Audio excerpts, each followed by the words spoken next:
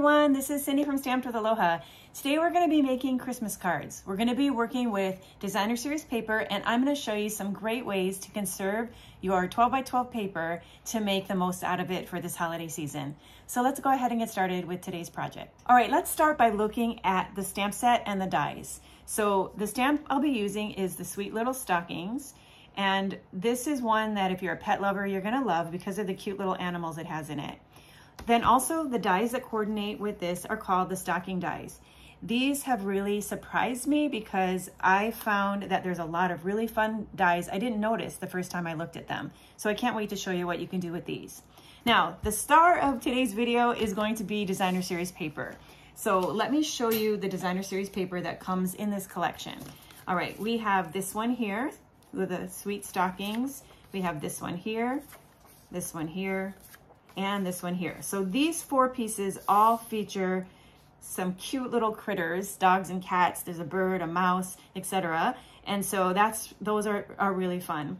And then also in the collection, you have a piece that looks like this with Christmas lights on it. And then the final piece that you have in this collection is this piece here, which I didn't cut into a four by four square because the beauty of this piece is that you can take the dies and you can die cut all of the stockings on this page. So you can see there's a large die for the large stocking, a medium, and a small for the small, okay? So this is the only piece of paper I didn't cut up because we wanna use this with our dies. All right, now let's take a look at the other side of the paper. So on the stocking side, you have this nice star print. And then on these here, you have this piece, which is a nice pool party checked print.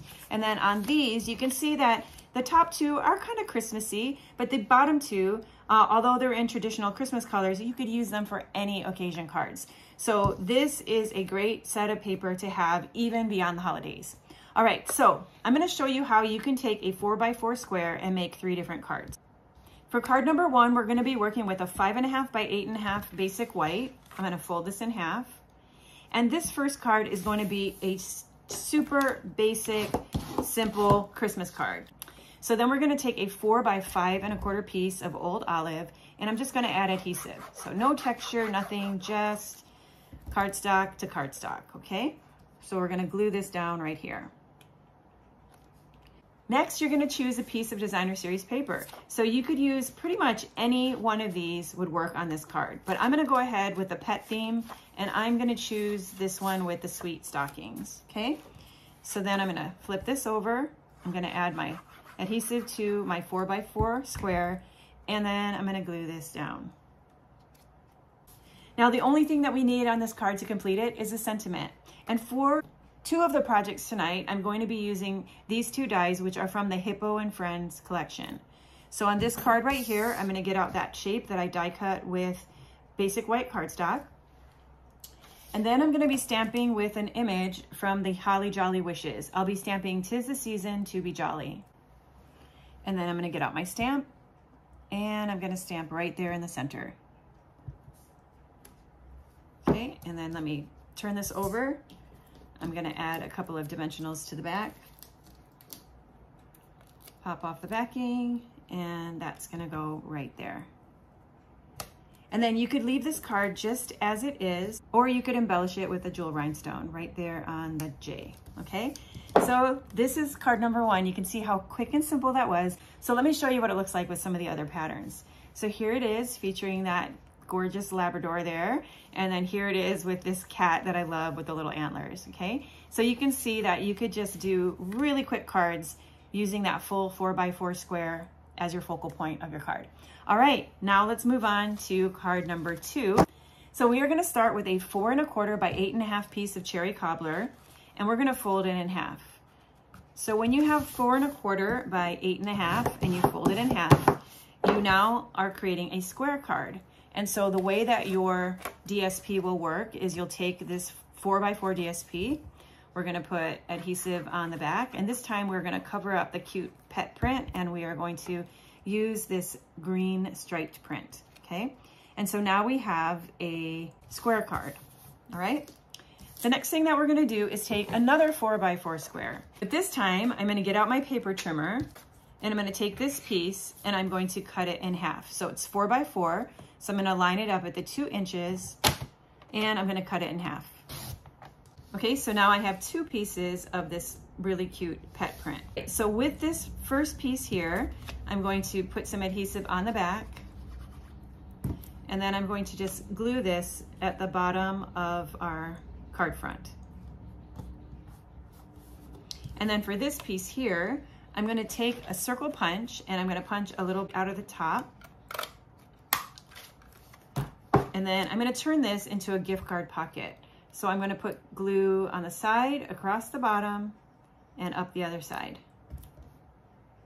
And then when I open up the card, I'm gonna place this at the bottom so that we'll have room to hold a gift card. All right, so for the focal point of this card, we are going to use this as a base. This is a large die cut piece from the Hippo and Friend dies. And then I'm going to use this white cardstock here, which is one by two and a half. And I'm going to be stamping that with this stamp that says Santa Paws is coming to town.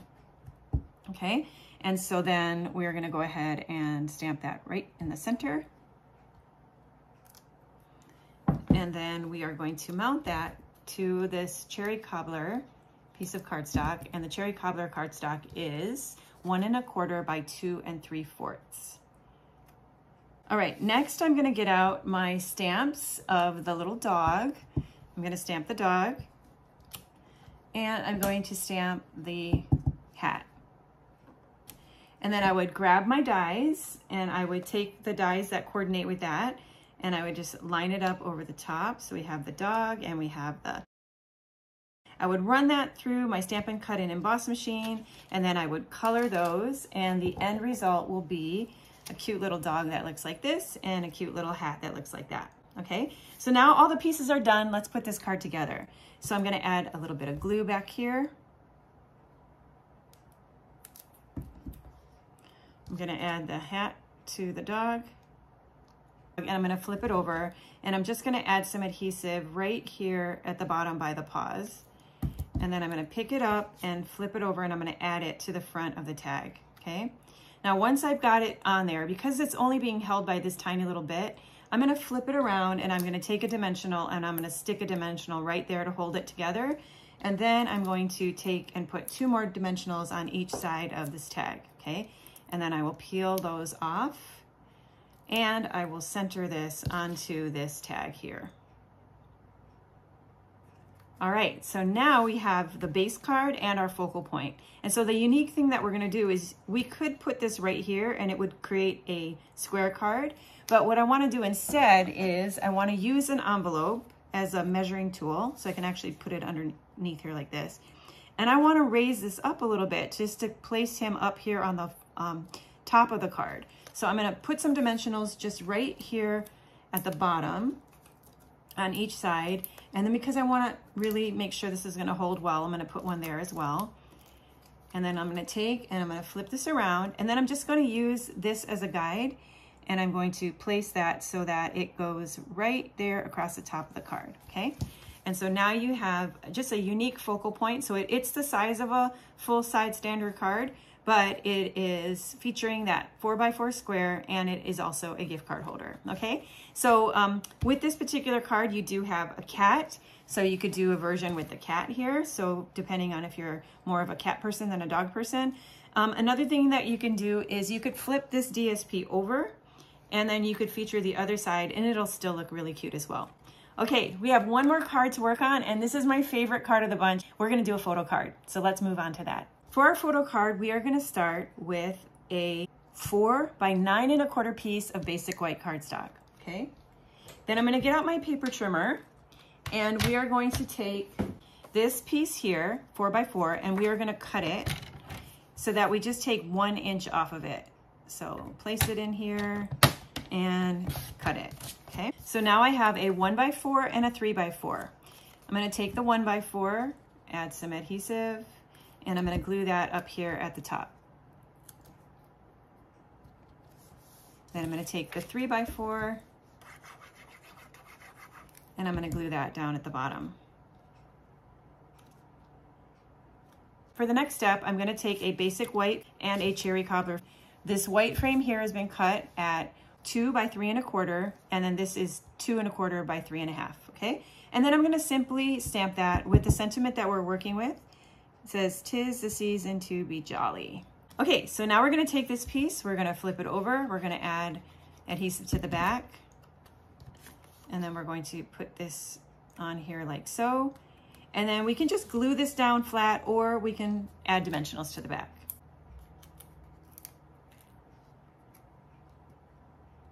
Okay, so at this point, remember I told you about this wonderful DSP? All I did was I chose a stocking, I used my die and I ran it through my die cutting machine and out came this adorable little stocking. So I'm gonna flip this around and I'm going to add two dimensionals to the back. And you can get so many stockings out of, the, out of that piece that you could really easily reproduce this card a bunch of times. And then that's just gonna go right there. Okay, and then we're going to finish up with just one little rhinestone. Okay, so, this is just a sweet and simple Christmas greeting, but really what the focal point is, is whatever photo you put on it. So here is this sweet card finished with this sweet photo. Well, I have another sample to show you that's stepped up a little bit, but before I do, I wanna show you one other thing.